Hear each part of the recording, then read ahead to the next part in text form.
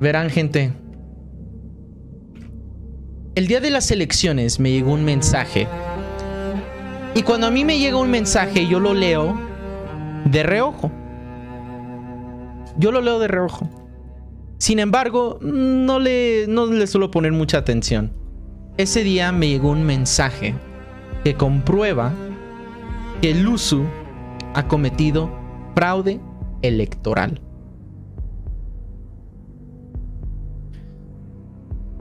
Quiero que vean esta imagen, gente. Quiero que vean esta imagen y hagan su propia deducción.